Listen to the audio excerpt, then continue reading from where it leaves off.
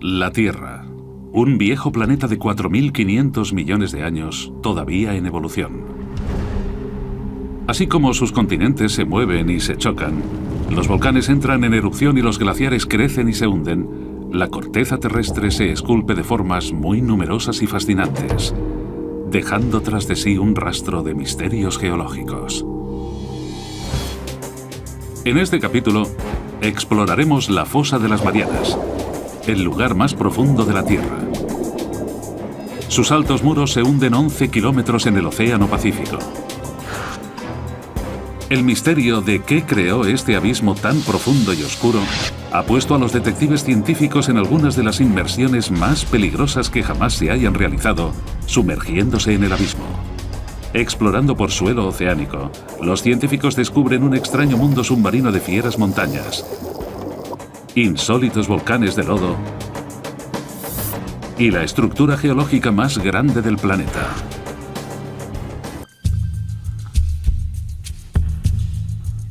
Sumergida bajo las olas del Pacífico Occidental se encuentra la fosa de las Marianas, el lugar más profundo de todos los océanos. Nuestro primer paso en el viaje para descubrir qué creó esta misteriosa cicatriz en la corteza terrestre y cómo continúa dando forma al planeta nos lleva de vuelta a 1872, cuando un navío inglés, el HMS Challenger, partió con la misión de cartografiar por primera vez el suelo oceánico. A través de gran parte de la historia conocida, los hombres habían asumido que una vez sobrepasado cierto nivel de profundidad, el mar era muy plano. Estaba muerto, sin vida que lo habitara. No esperaban encontrar nada interesante. Durante cuatro años, el Challenger cruzó los océanos, cubriendo 11.000 kilómetros, un tercio de distancia hasta la Luna. La tripulación sondeaba las profundidades cada 225 kilómetros, usando un total de 400 kilómetros de cuerda y varios cientos de kilos en pesos de plomo. Fue un trabajo tedioso, los dejaba destrozados, pero al mismo tiempo era la única forma de medir las profundidades del suelo oceánico.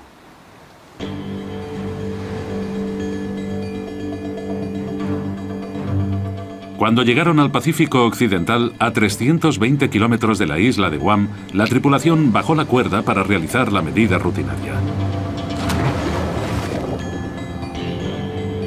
Pero el peso siguió cayendo y cayendo. Menuda sorpresa. Nadie había pensado que el océano fuera tan profundo. Y de pronto tenemos a todos esos científicos pensando, ¿cómo es eso?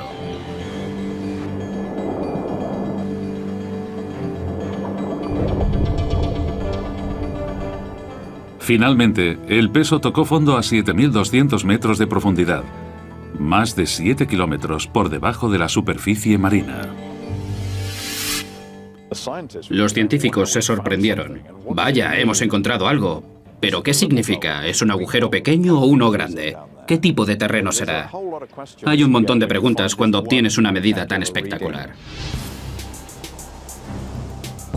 La expedición del Challenger marcó el nacimiento de la oceanografía moderna y proporcionó el primer mapa del suelo oceánico.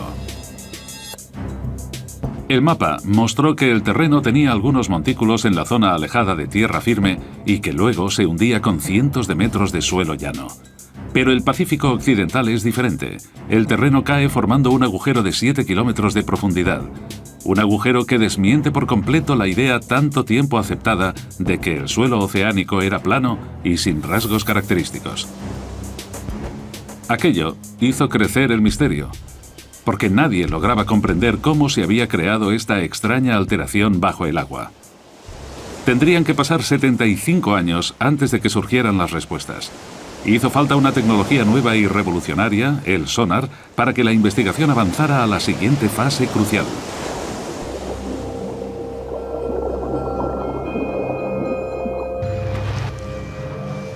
El sonar se desarrolló a principios de siglo y se perfeccionó durante los años 40 para detectar a los submarinos que surcaban las profundidades.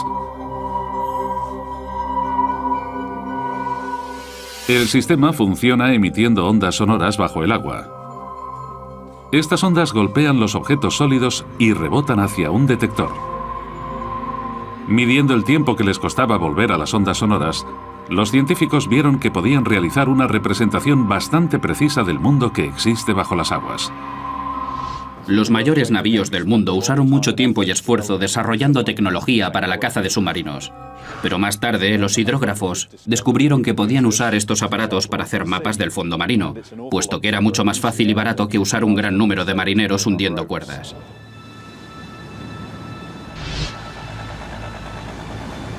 En 1951, un barco de exploración de la Marina inglesa regresó a la Gran Grieta encontrada por la expedición del Challenger. Pero esta vez iban armados con el nuevo y sofisticado equipamiento del sonar. Los resultados fueron increíbles. Los detallados mapas del sonar revelaron que el gran agujero del suelo en el Océano Pacífico no era solo un agujero, sino parte de una fosa enorme, 30 veces más profunda que la altura del Empire State Building. Mide dos veces la distancia de California, 24.000 kilómetros desde el sudeste de Guam hasta el noroeste de las Islas Marianas. Aquellas personas debieron de quedar impresionadas por lo que estaban viendo, porque estaba claro que el suelo oceánico tenía grandes cambios en el relieve. En algunos lugares era muy montañoso y en otros era muy profundo. Para los geólogos esto debió de ser muy emocionante. Incluso en la misma fosa existen variaciones muy pronunciadas. En su extremo sur se encuentra la mayor sorpresa de todas, pues el suelo cae otros 3 kilómetros hasta su punto más hondo, nada menos que 11 kilómetros bajo el agua. Los científicos habían descubierto la parte más profunda de los océanos. Aún hoy en día es el punto más bajo conocido del planeta. Llamaron a esta parte de la fosa el Abismo Challenger, en honor al barco que la descubrió. Para entender mínimamente lo profundo que es esta fosa, hay que coger la altura del monte Everest y empezar a medir desde el fondo del abismo Challenger. Una vez arriba todavía tendríamos dos kilómetros de agua por encima de nosotros antes de llegar a la superficie del agua. Pero cómo se formó la fosa de las Marianas sigue siendo un misterio. Los investigadores decidieron que la mejor forma de averiguar la respuesta era sumergirse hasta el fondo de la fosa para ver ellos mismos cómo era el punto más hondo del planeta, el abismo Challenger. Pero entonces se encontraron con un gran problema. En el fondo de la fosa tendrían que soportar una presión miles de veces más fuerte que la de la superficie, lo equivalente a ser aplastado por el peso de cinco aviones jumbo.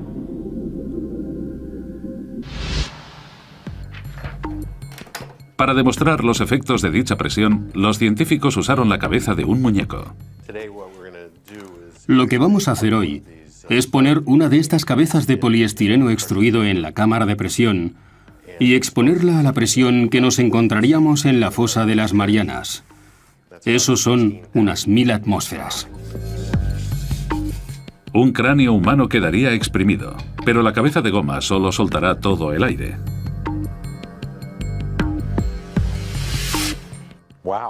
Madre mía. Vaya, eso es mucho más pequeño que la forma original. Mirad qué diferencia. Es increíble. Hay una grandísima diferencia entre algo que no ha estado a 11 kilómetros de profundidad en el océano y algo que sí. Me alegro de no tener que ir. En la fosa de las Marianas es imposible la vida humana. No estamos equipados para resistir ese tipo de presión, así que es necesario proteger a las personas de ese tipo de ambiente.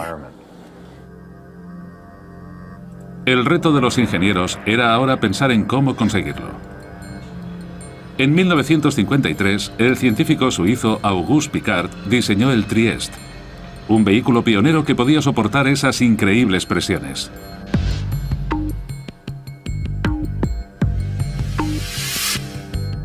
El batiscafo funcionaba con un tanque de 25 metros, lleno de combustible ligero de aviación y con pesos de plomo para controlar la flotabilidad.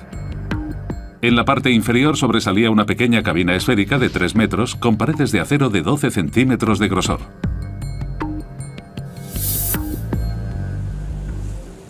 Finalmente, después de siete años de modificaciones y pruebas de inmersión no superiores a los 5 kilómetros y medio, el Trieste estaba listo para intentar bajar los 11 kilómetros con los que cuenta la fosa. El comandante de este peligroso reconocimiento era el teniente de la Marina estadounidense y explorador oceánico Don Walsh.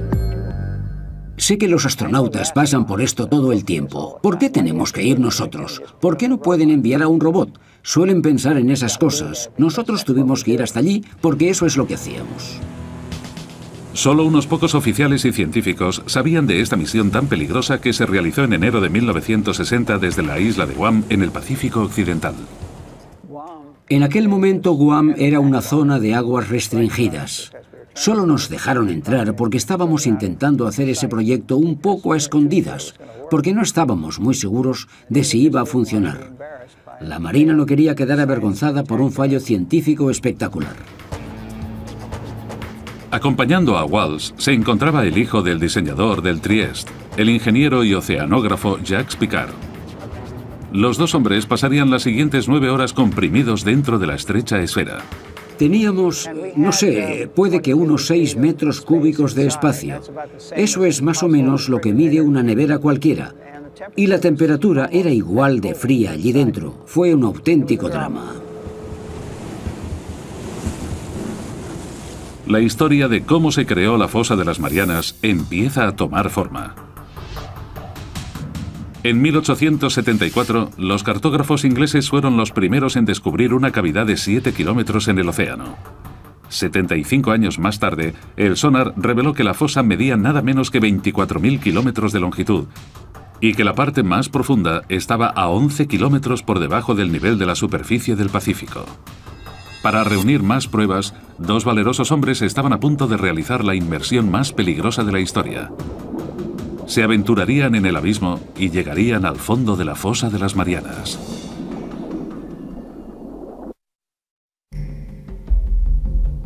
La fosa de las Marianas es uno de los lugares más remotos e inhóspitos de la Tierra. En enero de 1960, dos exploradores marinos, Don Walsh y Jacques Picard, se aventuraron en sus profundidades a bordo de un sumergible, el Trieste.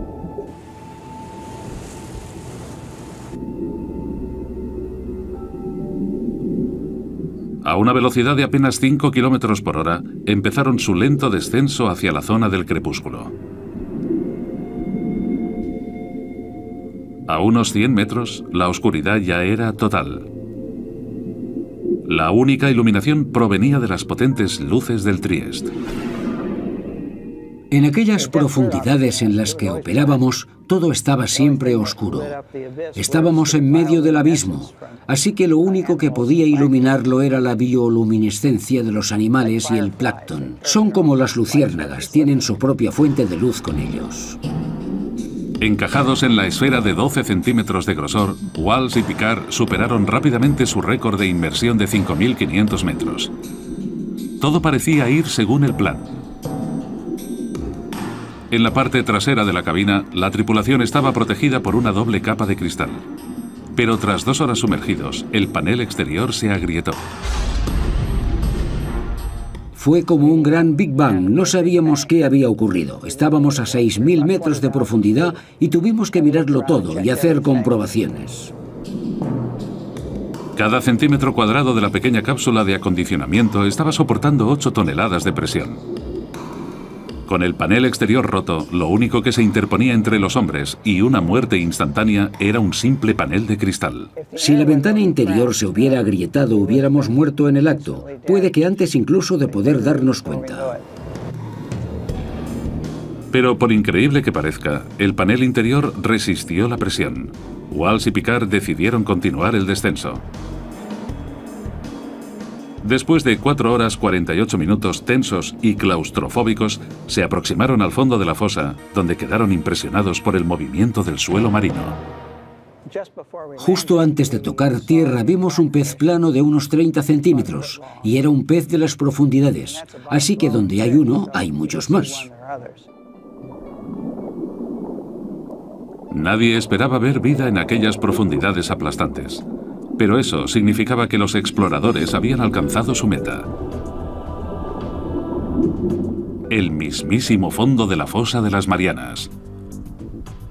Aquella enorme cavidad, con una profundidad de 10.900 metros, casi 11 kilómetros bajo la superficie, confirmaba las lecturas del sonar. Comprimidos dentro de su burbuja de aire respirable, los dos exploradores estaban más cerca del centro de la Tierra de lo que ningún hombre había estado jamás. Tomamos un retrato y esa es la foto que veis ahí. Dijimos que lo haríamos y lo hicimos. Pero aún había trabajo por hacer. Walsh y Picard querían realizar observaciones detalladas de la enorme fosa. Por desgracia, el Trieste levantó una ligera nube de arena de sedimentos del suelo que obstruyó su vista. Era como estar en un tazón de leche. Al darnos cuenta de que no podríamos ver nada, decidimos volver a la superficie. Off the island of Guam, the Trieste, surfaces after a descent into the Marianas Trench. Después de nueve horas agotadoras bajo el agua, Walsh y Picard volvieron a la superficie el 23 de enero de 1960 y entraron oficialmente en los libros de historia por haber participado en la inmersión más profunda jamás realizada. Hasta el día de hoy, su extraordinaria hazaña no se ha vuelto a repetir. La misión fue un éxito, pero el misterio seguía presente. Los geólogos seguían sin comprender qué pudo formar la inmensa fosa. Y si no habían conseguido encontrar la respuesta dentro de ella, puede que tuvieran que mirar en otro sitio. Es posible que hubiera algo en alguna parte del suelo oceánico que pudiera explicar los orígenes de la fosa. Durante los 50 y los 60, un equipo de geólogos liderados por Harry Hess de Princeton recogieron datos de todos los océanos del mundo con un sonar. Fue como si hubieran quitado un enorme tapón para drenar toda el agua y dejar el suelo oceánico al descubierto. Sus mapas revelaron que la fosa de las Marianas solo es una pequeña parte de una red de enormes cañones submarinos que se expanden por todo el planeta. Pero eso no es todo. Corriendo en paralelo a la fosa, en el otro lado del Pacífico, los mapas mostraron una gigantesca cordillera, la dorsal del Pacífico Oriental. Esta es parte también de una red global, una cadena montañosa de 38.000 kilómetros que rodea el planeta como la costura de una pelota de béisbol y que forma el mayor accidente geológico de la Tierra. Fue un desarrollo importante en la investigación, uno que los científicos esperaban que pudiera explicar la formación de la fosa.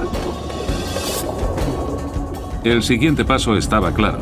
Los investigadores tenían que averiguar si había una relación entre la fosa y la dorsal del Pacífico Oriental.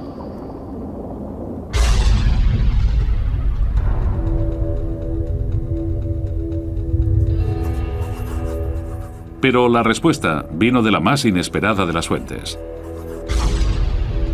Durante la Guerra Fría, los Estados Unidos construyeron una enorme red de sismómetros subterráneos para recoger datos de las pruebas con bombas atómicas que hacían en todo el mundo.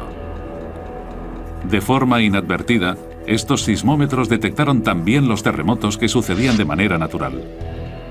Cuando los geólogos registraron estos movimientos en un mapa, surgió un patrón.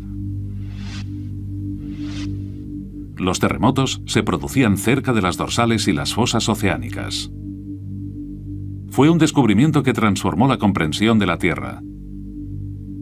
Los geólogos se dieron cuenta de que la fricción que causan los terremotos viene de los movimientos que están ocurriendo debajo de las dorsales y las fosas.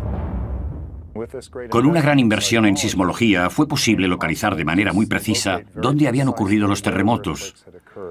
Y fue esto, la localización precisa del movimiento en las profundidades, lo que nos dio la forma de las placas tectónicas. Era el nacimiento de una nueva y extraordinaria teoría. La capa sólida de rocas, la corteza, en la cual se asienta la Tierra y el océano, está rota en una serie de enormes bloques que los geólogos llaman placas tectónicas. Estas placas se mueven y se rozan unas con otras, provocando los terremotos. Las dorsales y fosas submarinas se crean en los bordes de las placas tectónicas.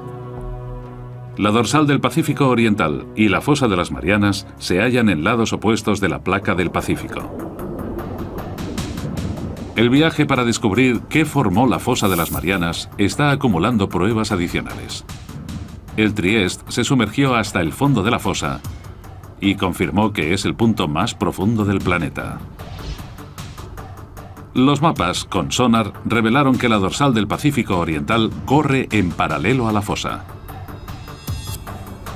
Para resolver el misterio de la fosa de las Marianas, los investigadores necesitaban descubrir qué ocurría exactamente en la dorsal del Pacífico y eso significaba explorar esas gigantescas montañas a 2.400 kilómetros bajo el agua.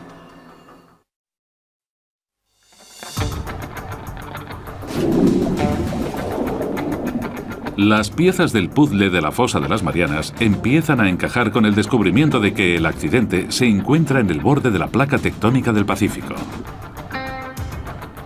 En el otro lado de la placa se halla la dorsal del Pacífico Oriental, parte de una enorme cadena de montañas submarinas que rodea el planeta para crear el mayor accidente geográfico de la Tierra. Los científicos piensan que esta colosal cordillera puede ayudarles a explicar cómo se formó la fosa y ahora han encontrado una pista importante en mitad del globo, donde la dorsal pasa por debajo del Océano Atlántico. Durante la Guerra Fría, la Marina de los Estados Unidos desarrolló una nueva técnica, localizar a los submarinos soviéticos. Los marines registraban los mares con una herramienta llamada DAM, un detector de anomalías magnéticas que podía localizar cascos de acero avanzado por las profundidades pero en sus rastreos se encontraron con algo más. Corriendo en paralelo por cada lado de la dorsal, hallaron unas extrañas líneas de rocas magnéticas, alternándose de positivo a negativo desde el pico de las montañas. Aquí tenemos la dorsal mesoatlántica bajando por esta parte y manteniéndose casi simétrica en cada lado de estas tiras blancas y negras. A veces las llaman tiras de cebra. Los geólogos saben que la Tierra es como un imán gigante con un polo norte y uno sur. Pero los polos magnéticos no están fijos. Cada 300.000 años, más o menos, el campo magnético cambia repentinamente 180 grados. Cuando el campo se invierte, una brújula que antes apuntaba al norte, ahora apuntaría al sur. Esta inversión del campo magnético de la Tierra es muy interesante y emocionante, pero también un fenómeno muy difícil de explicar para los geofísicos. Los científicos piensan que esta alteración explica las tiras que hay a cada lado de la dorsal oceánica. En los años 60, los geólogos descubrieron que la roca volcánica fundida, conocida como magma, se hinchó desde las zonas más profundas del océano para crear las dorsales del Atlántico y el Pacífico. Mientras el magma va subiendo por las placas tectónicas, empuja hacia arriba el suelo marino y forma esa enorme cordillera mesoceánica de miles de metros de altura. Cuando la roca está caliente y fundida, los minerales magnéticos se alinean en la dirección norte-sur del campo magnético de la Tierra. Una vez se enfría el magma, los minerales se quedan en esa posición. Estas rocas actúan como un registro permanente de la localización de los polos magnéticos cuando se formaron las rocas. Como cada vez sube más magma, la corteza se separa de la dorsal y el terreno recoge los cambios en la polaridad magnética de la Tierra. Si tenemos inversiones en la polaridad magnética, el suelo marino actúa como una especie de grabadora que recoge estos cambios en la magnetización. Es por eso que el patrón de las tiras magnéticas permite a los científicos calcular la velocidad a la que se mueven las placas. Las tiras de cebra son la prueba de que con el tiempo, el suelo marino del Atlántico y del Pacífico se separa de la dorsal a una velocidad de 3 centímetros por año. Pero los científicos necesitaban pruebas de que el magma creó la dorsal. Si la roca fundida está formando la enorme cadena montañosa del Pacífico, el agua que la rodea debería estar caliente. En 1977, un grupo de científicos partió para descubrir si de verdad existía esta agua caliente. Dudley Foster fue el piloto de aquellas inmersiones históricas. Fue un trabajo muy emocionante porque estaba en la cumbre de la ciencia, había nuevos descubrimientos todo el tiempo. En cada barco venía un nuevo grupo de científicos con nuevos objetivos y con ellos llegaba la exploración y los descubrimientos. Eso es lo que de verdad hacía emocionante el trabajo.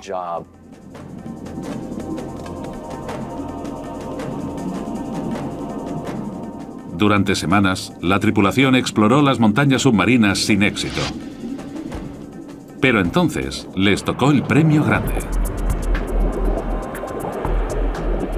Un extraño pilar de roca que emitía un gas tóxico y caliente. El agua parecía brillante. Era como ver burbujas en una taza de té o algo parecido. Hicimos la prueba de temperatura y dio unos 38 o 39 grados. Un resultado increíble, porque el océano es un congelador enorme, así que ver algo así de caliente fue realmente sorprendente.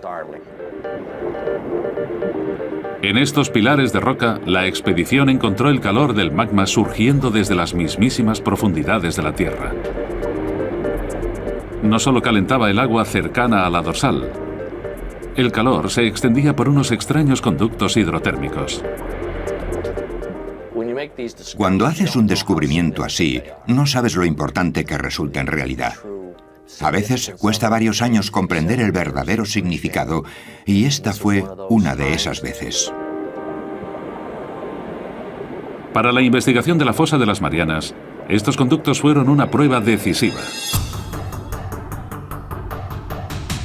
Confirmaban que el magma crea continuamente corteza nueva en la dorsal del Pacífico Oriental y las tiras de cebra magnéticas demuestran que la corteza vieja es empujada lejos de la dorsal hacia el otro lado de la placa del Pacífico, hacia la fosa de las Marianas. Pero esto presenta a los científicos un nuevo enigma. Si la corteza se crea en la dorsal oceánica y la Tierra no se hace más grande, entonces la corteza vieja tiene que estar desapareciendo en algún lugar. La razón de que la Tierra no se haga más grande, a pesar de que el suelo oceánico se expanda, es que esa misma cantidad de terreno se destruye en el Pacífico. Y sospechan que la fosa de las Marianas tiene algo que ver. Pero las pruebas llegarían no de la fosa, sino de aquí. Las Islas Marianas una cadena de volcanes que irrumpen en la superficie del océano, a 320 kilómetros al oeste de la fosa.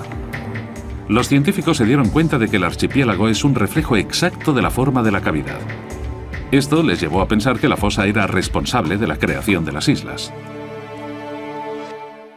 Si ves fotografías de la fosa de las Marianas, ves que está curvada y que la línea de los volcanes que genera está también curvada, de forma paralela a ella. Los geólogos creen que la fosa formó los volcanes a través de un proceso llamado subducción. La subducción ocurre cuando chocan dos placas tectónicas. Cuando colisionan una con otra, la placa más pesada entra debajo de la más ligera. La placa descendente se ve obligada a bajar al interior ardiente de la Tierra, conocido como manto. Con ella arrastra agua y sedimentos que se han ido formando durante millones de años. Los volcanes se forman encima de las zonas de subducción, no porque la Tierra esté más caliente allí, sino porque es donde se recoge el agua del océano, que luego pasa al manto y se transpira en forma de magma cuando los volcanes erupcionan de forma violenta.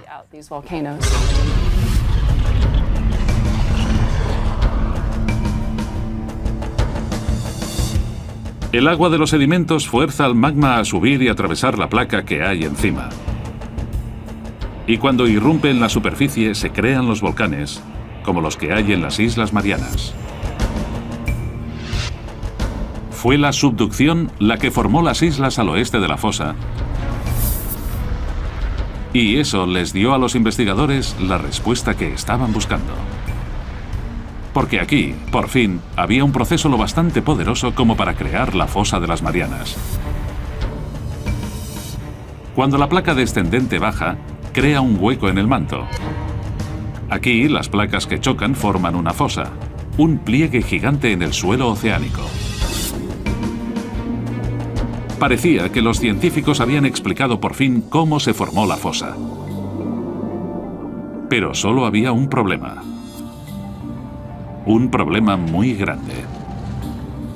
Las zonas de subducción de todo el mundo causan terremotos violentos y tsunamis catastróficos. Sabemos que la subducción existe por los terremotos y estos son los terremotos más devastadores que hay. Este es el seísmo que generó el tsunami de Sumatra. Y estos son otros muy grandes que ocurrieron en Alaska y Chile. Pero la fosa de las Marianas, la zona de subducción más profunda del mundo, no había causado ningún terremoto devastador desde que empezaron los registros en el siglo XVII. Los investigadores tenían que descubrir ahora el porqué. Esa es la pregunta del millón.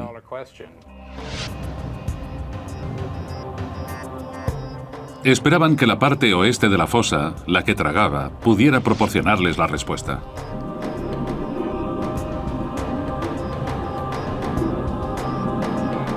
Allí encontraron una intrigante cadena de colinas submarinas a tres kilómetros por debajo de la superficie del mar.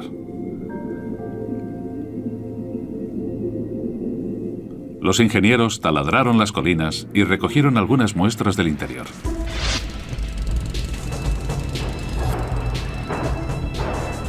Cuando los científicos analizaron las muestras, descubrieron que las colinas eran en realidad volcanes y que no escupían lava, sino lodo.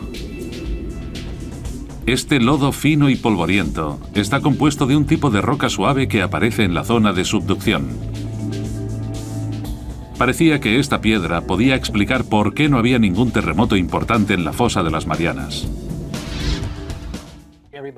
Todos saben más o menos lo que es un volcán, pero no todos los volcanes lanzan rocas ignífugas. También hay algunos que escupen lodo. Este tipo tan extraño de lodo que se puede encontrar en las Marianas está hecho de serpentina. La serpentina es un tipo de piedra muy frágil que se puede rascar con un cuchillo o similar. Los investigadores se dieron cuenta de que las placas tectónicas destrozan las rocas blandas para formar un lodo lubricante que evita los grandes terremotos. Luego, las burbujas de lodo suben al suelo oceánico, donde forman los extraños volcanes de lodo que se hallan en el borde oeste de la fosa.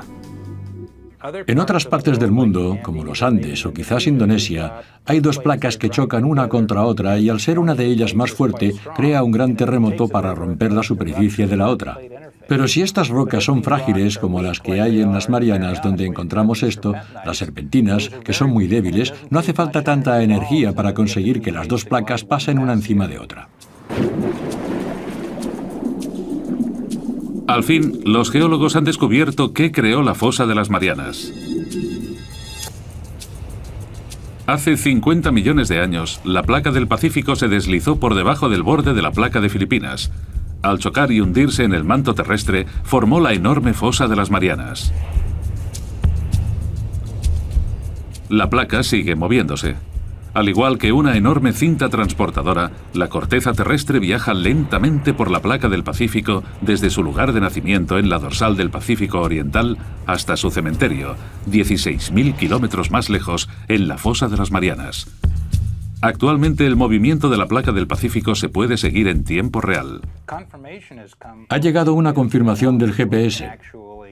Ahora podemos poner un transmisor en una isla y volver cada año para ver cómo se mueve unos pocos centímetros al año cerca de la fosa. La fosa devora la corteza a un ritmo de 3 centímetros por año, más o menos igual de rápido que crecen las uñas humanas. Cada 4 millones de años se traga una zona del tamaño de los Estados Unidos. Al consumir la corteza, creó la dorsal del Pacífico Oriental. La voraz fosa de las Marianas es la planta de reciclaje más grande del mundo.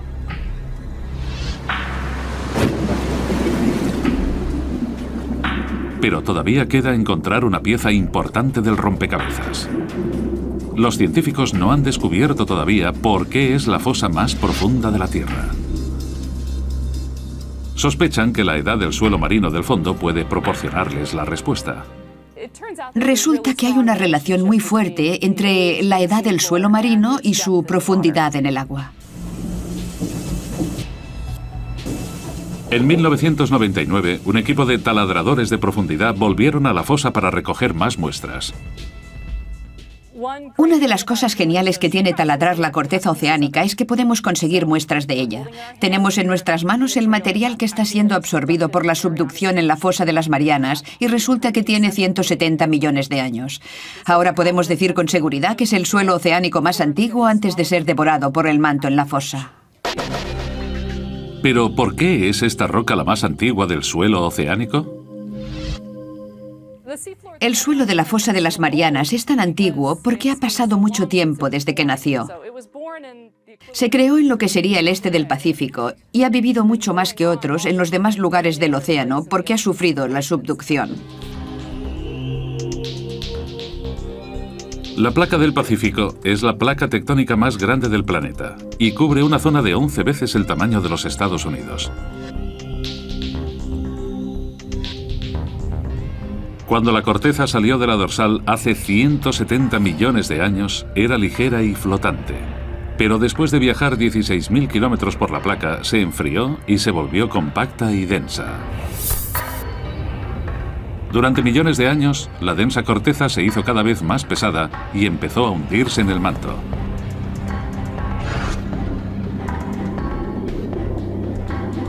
Los científicos han descubierto que se debe a que la corteza de la fosa de las Marianas es la más antigua del océano y también la más pesada.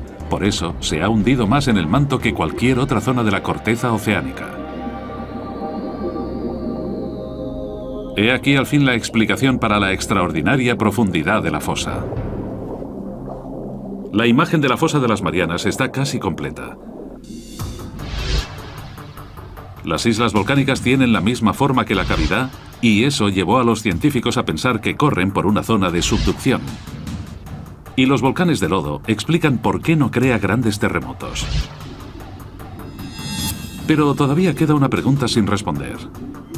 En el extremo sur de la fosa, la enorme depresión cae otros 3 kilómetros hasta llegar a su punto más hondo, el abismo Challenger, 11 kilómetros por debajo de las olas. La pregunta es, ¿qué lo ha hecho ser tan profundo?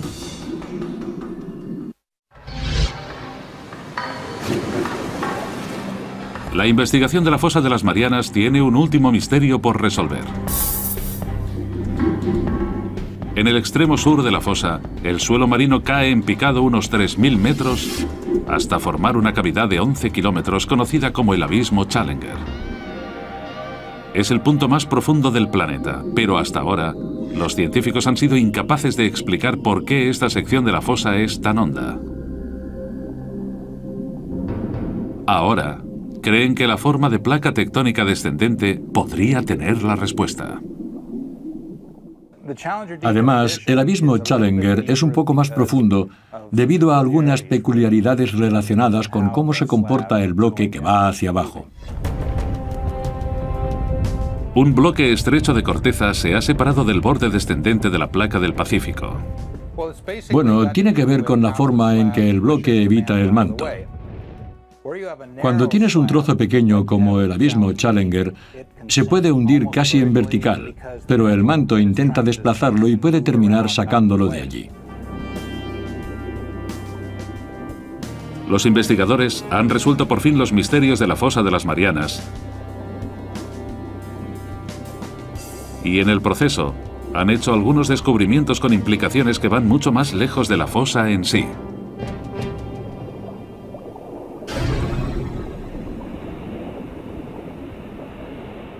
Estudiando las cordilleras oceánicas, los geólogos pensaron que el magma sube por ellas y separa las placas.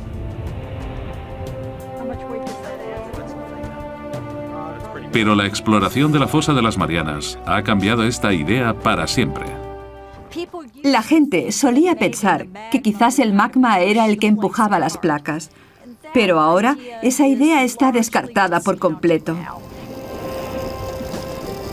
Mientras la corteza oceánica viaja desde la dorsal del Pacífico hasta la fosa, pasa de ser magma ardiente a una corteza más fría, más densa y más pesada.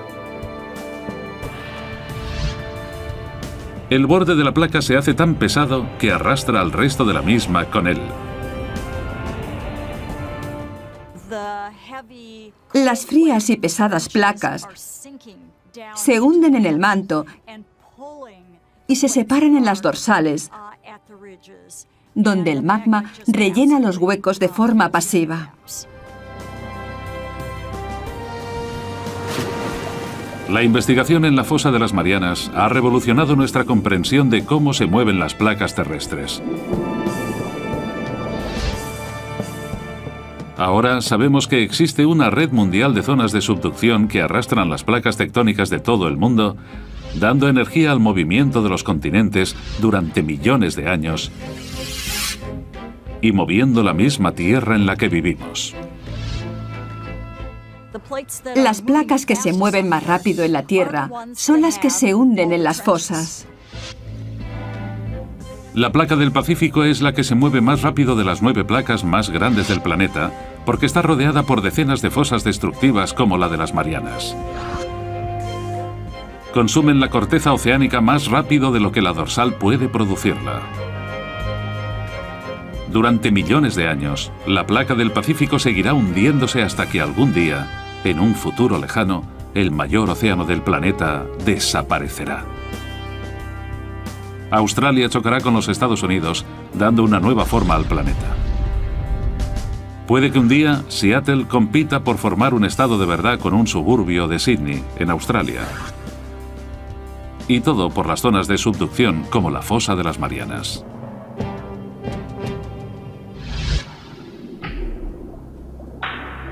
Pero a pesar de lo que significa, el hombre solo se ha sumergido una vez en el fondo de la fosa y no hay planes inmediatos de volver allí.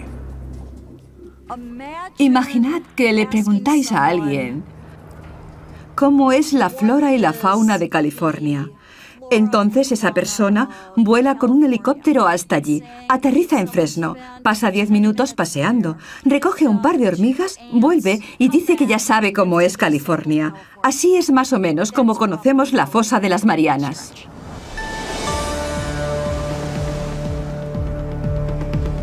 Hasta la fecha, se han explorado menos del 5% de los océanos del mundo. Pero solo si regresamos a las profundidades de los océanos lograremos comprender por completo las increíbles fuerzas que reciclan y reconstruyen nuestro mundo. Me gusta pensar que la exploración del océano lleva a nuevas preguntas que investigar. Y si no tenemos exploración, ni siquiera sabremos qué preguntas tenemos que contestar. Ahora sabemos cómo es una maravilla geológica como la fosa de las Marianas. Desde que se descubrió esta enorme falla en la Tierra con una cuerda y un peso de plomo hace más de un siglo, las pruebas se han ido amontonando. Una inmersión de récord al punto más profundo de la Tierra. Gigantescas cordilleras submarinas con extrañas tiras magnéticas. Todo ello prueba que la corteza del océano se está expandiendo. La voraz fosa de las Marianas junto a los volcanes de lodo evitan los terremotos más devastadores. Y la corteza oceánica más antigua del planeta es la razón por la que la fosa es el lugar más profundo de los océanos.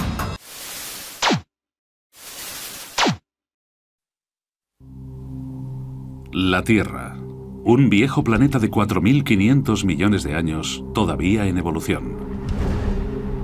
Así como sus continentes se mueven y se chocan, los volcanes entran en erupción y los glaciares crecen y se hunden, la corteza terrestre se esculpe de formas muy numerosas y fascinantes, dejando tras de sí un rastro de misterios geológicos.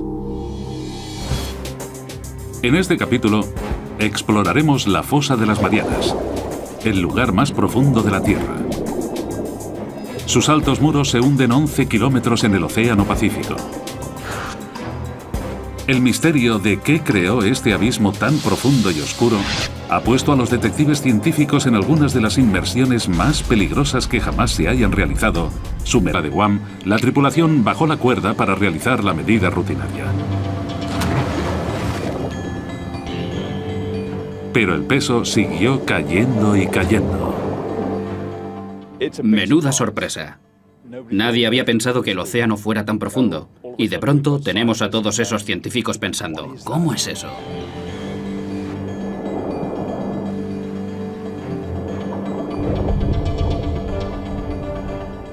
Finalmente, el peso tocó fondo a 7.200 metros de profundidad, más de 7 kilómetros por debajo de la superficie marina. Los científicos se sorprendieron. Vaya, hemos encontrado algo. ¿Pero qué significa? ¿Es un agujero pequeño o uno grande? ¿Qué tipo de terreno será? Hay un montón de preguntas cuando obtienes una medida tan espectacular. En parte de la historia conocida, los hombres habían asumido que una vez sobrepasado cierto nivel de profundidad, el mar era muy plano. Estaba muerto, sin vida que lo habitara. No esperaban encontrar nada interesante. Durante cuatro años, el Challenger cruzó los océanos, cubriendo 11.000 kilómetros, un tercio de distancia hasta la Luna. La tripulación sondeaba las profundidades cada 225 kilómetros, usando un total de 400 kilómetros de cuerda y varios cientos de kilos en pesos de plomo. Fue un trabajo tedioso, los dejaba destrozados, pero al mismo tiempo era la única forma de medir las profundidades del suelo oceánico.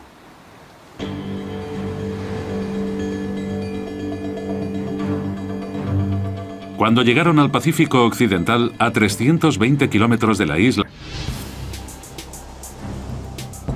la expedición del Challenger marcó el nacimiento de la oceanografía moderna y proporcionó el primer mapa del suelo oceánico. El mapa mostró que el terreno tenía algunos montículos en la zona alejada de tierra firme y que luego se hundía con cientos de metros de suelo llano. Pero el Pacífico Occidental es diferente. El terreno cae formando un agujero de 7 kilómetros de profundidad. Un agujero que desmiente por completo la idea tanto tiempo aceptada de que el suelo oceánico era plano y sin rasgos característicos. Aquello hizo crecer el misterio, porque nadie lograba comprender cómo se había creado esta extraña alteración bajo el agua. Tendrían que pasar 75 años antes de que surgieran las respuestas. Hizo falta urgiéndose en el abismo. Explorando por suelo oceánico, los científicos descubren un extraño mundo submarino de fieras montañas, insólitos volcanes de lodo y la estructura geológica más grande del planeta.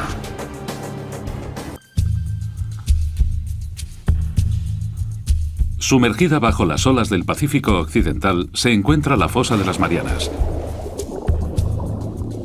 el lugar más profundo de todos los océanos.